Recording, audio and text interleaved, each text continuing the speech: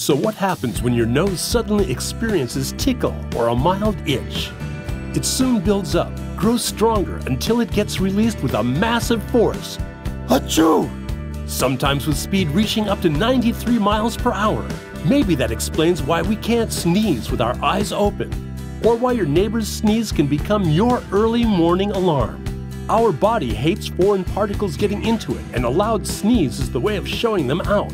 Hence, pollen, dust, smoke, and cold air cause sneezing. For some, it can be sunlight, or a full stomach, or even orgasm, which can trigger it, and is usually followed by tears or running nose. One sneeze is usually followed by several, and even by others present in the room, but hardly any correlation has been found as to why. Some sneeze mild and some create mayhem.